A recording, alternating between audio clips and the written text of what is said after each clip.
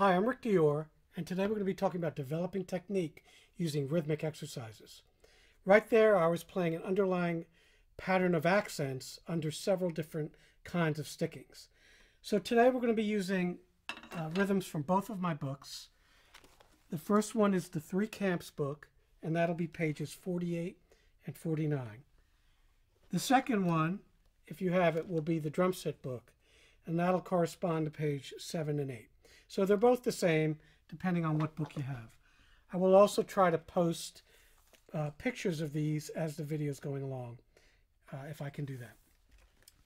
So this is an extremely important um, exercise I do with my students. I take lots of different rhythms from several different books, and I have them interpret those with different rudiments, stickings. It helps their reading, and it definitely helps their technique. So uh, this would be a great thing for you to do on a daily basis. We'll start out pretty simple um, with page 48 in the Three Camps book, corresponding to page 7 in the drum set book. These are single notes, quarter notes, eighth notes, and sixteenths. now you will need to be able to read some to do this, but just in case you're not a real strong reader, I'll go through the first three lines with the metronome slowly and count them out so you can get a start there. So here we go. We're going to do this at quarter note equals 80. Now you're going to want to put the metronome on sixteenths to make sure everything's subdivided. So I'm just going to play the rhythms, nothing underneath it. One, two, three, four. One E and a two E and a three E and a four E and a one E and a two E and a three and four. One E and a two and three E and a four. One E and a two and three E and a four. One E and a two, three E and a four. One E and a two and three E and a four one E and a two and three and four E, one E and a two E and a three E and a four E and a one and two and three E and a four and one E, two E, three E and a four E, one E and a two E and a three and four E, one E and a two and three E and a four E and a. So that's the rhythms that we're going to be working with, and um, also the next page, I'll do that I'm going to be working with page 49, the first three lines. So let me play that for you as well. I'll go a little slower since these are more complicated. Here's quarter note equals 70. One, two, three, and four, and one E and a two E and a three E and a four E and a one E and a two and a three E and a four E and a one E and a two and three E and four E and a one E, two, three E and, and four E and a one E and a two E and a three E and a four E and a one E and two E and a three and a four E and one and two and three, four E and a one E and a two E and a three E and a four E and a one and two E and a three E and four E and a one E and two E and three E and four E and one E and two and a three E and four and one E and two and a three E and a four and. Okay, I think I misspoke on one of those, so you'll know where it is. All right. So now we'll go back to page 48, corresponding to page 7 in the drum set book. So the first thing you're going to want to do is play 16th notes under these rhythms. Now, what's very important is that you get your height right and your dynamics. So when you do the accents, they're going to be fortissimo, two Fs, very loud. Uh, well, not too loud if you're practicing in the snare drum at home, but a pad, it's okay. But no more than eight inches off that drum. Don't go like this. Just here. That's a good height. Everything else is going to be down here. Ghost note level, okay? Pianissimo, two P's. So here's your dynamic range. Fortissimo, pianissimo, okay? Good. So let's try slowly page 48, and I'll count out loud at quarter note equals 70 with sixteenths.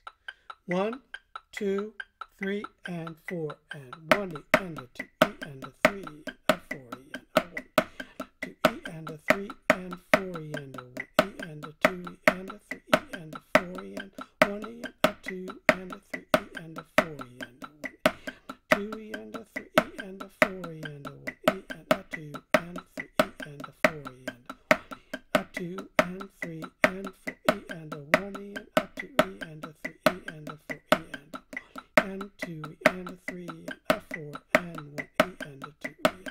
E and a four E and a one and two E and a three and a four and one E and a two E and three and a four E the next page, page 49, corresponding to page 8 in the drum set book. 3 and 4 and 1 E and a 2 E and a 3 E and 4 and 1 E and a 2 3 and 4 E and a 1 E and a 2 and 3 E and 4 E and 1 2 E and 3 and 4 E and a 1 E and a 2 E and a 3 E and 1 E and a 2 E and 3 and 4 E and 1 and 2 and 3 and 4 E and a 1 2 and 3 and 4 E and 1 and 2 3 and 4 1 E and 2 E and 3 E and 4 E and 1 E and 2 and 3 E and 4 and 1 E and 2 and 3 E and 4 and Okay? So these can go anywhere from, from super slow to very fast. A very fast tempo might be like 140. Um, I do them faster sometimes, but uh, you want to still remain relaxed. So let's see if I can do that today. Here's 140. This is page 8 or 49 in three camps. One, two, three, four.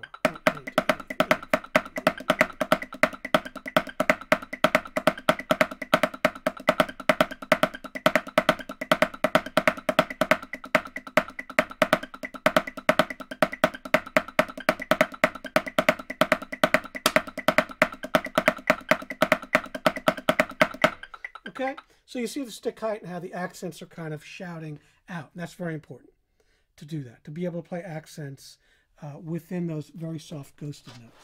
So we'll go back a page now to page 48 in the Three Camps book, the single notes.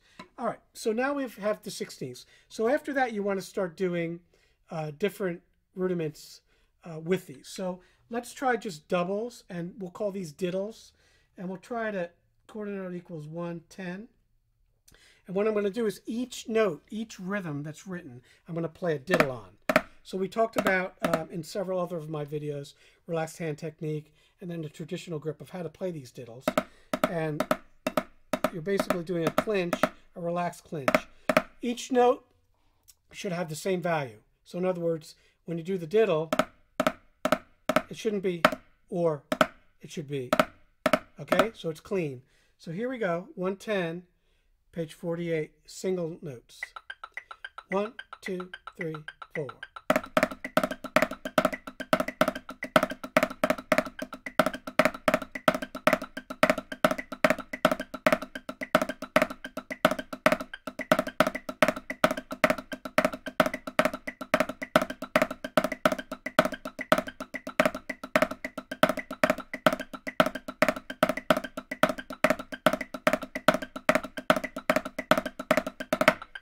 Okay, so you want to get it as clean as possible.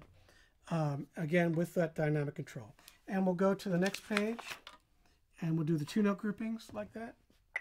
One, two, ready, play.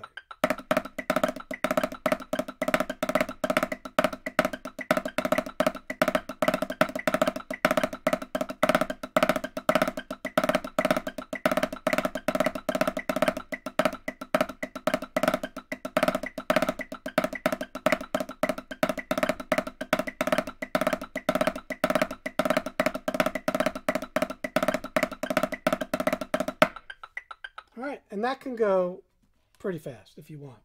You can do that up to, I don't know, 130 maybe? Yeah, so try it.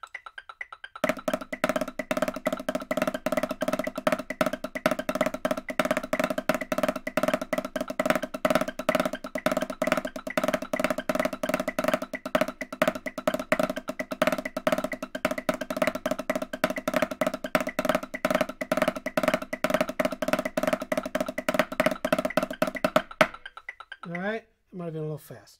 Okay, but anyway, don't sacrifice speed for evenness and relaxation. You're not going to be able to play these if you're using your arms or your shoulders. So we'll go back to page single note groupings once again, and we'll try something else. All right, so let's do a long roll. I was doing some of this in the intro to this video. Uh, the long roll is basically a double stroke roll like this. And it's very helpful to be able to play accents within that. So let's try that. One, two, three, four.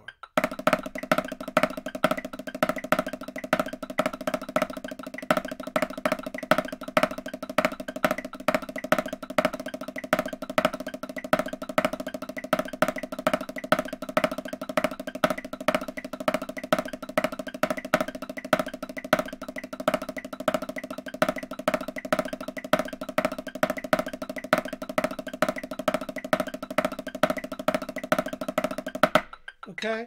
And that can go also pretty fast, but not too fast. 120 is a good tempo. So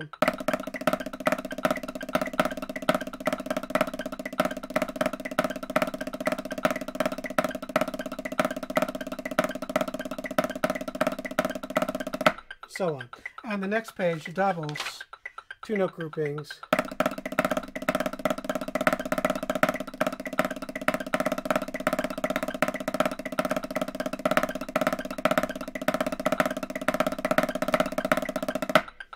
Right, uh, they, they, can be sort of exhausting, so don't overdo it. Uh, remember to play slow. I'm just showing you that how that it's possible to play them fast, but you want to start out Okay.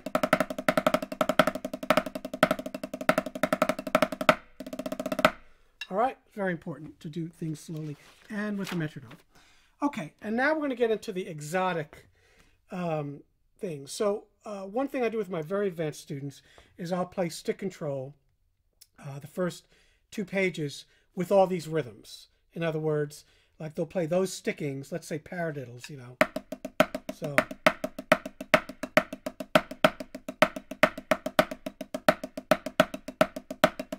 and they'll play these rhythms over on top of it as accents. That's really, really difficult, but tremendous for your technique and interpretive abilities. So if we were going to do that, we would do it like um, slowly, maybe a hundred.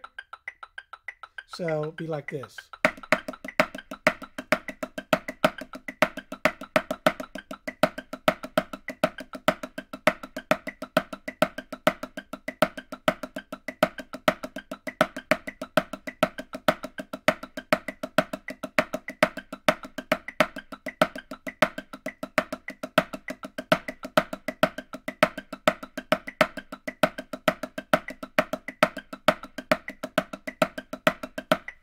So that's playing page 7 or 48 with paradiddles, and then all the rhythms are accents. And again, you can do that with any of the pages. And any of the first two pages of stick control, those stickings. Uh, again, really hard. That's a lifetime's worth of study.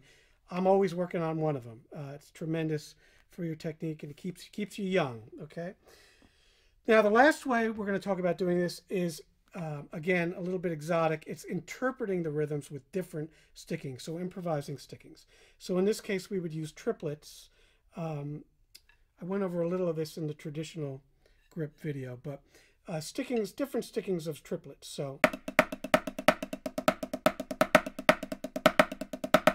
so right, left, left, or left, right, right, or right, right, left, or left, left, right. All right, and then you would interpret these as triplets. So the first measure would be triplet, triplet, triplet, triplet, triplet, triplet, triplet, triplet, triplet, triplet, triplet, triplet, triplet, triplet, triplet, triplet. So you're swinging them. You're interpreting them as triplets. So if I play that, now, oh, by the way, in, in the triplet case of the triplets, because it's related to playing jazz, I like to put the metronome on two and four. So like that. See? One, two, one, two, three, four.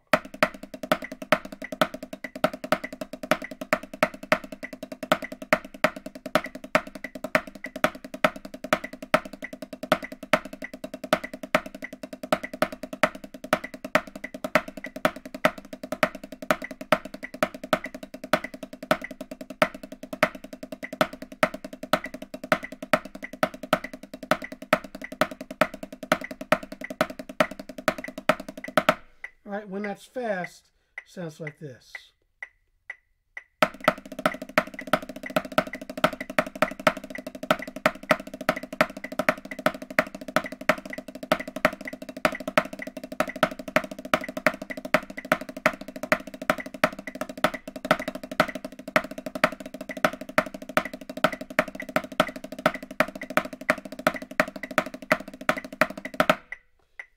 Metronome on two and four. Um, and it's all improvised, so you're not, there's not a set sticking. I, I highly recommend that because in a real setting, that's what you're doing anyway. You're on drum set, you know, you're improvising, you're setting up figures, whatever you're doing, okay?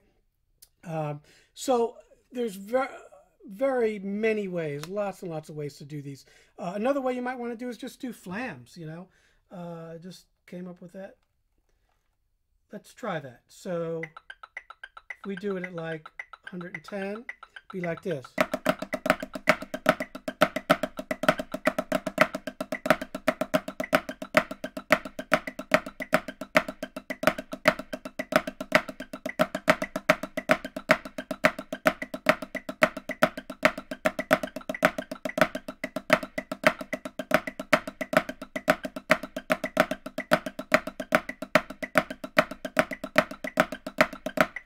Right, so that's again, that's all improvised. Just playing flams, you know, trying to play through as many different rhythmic figures as possible.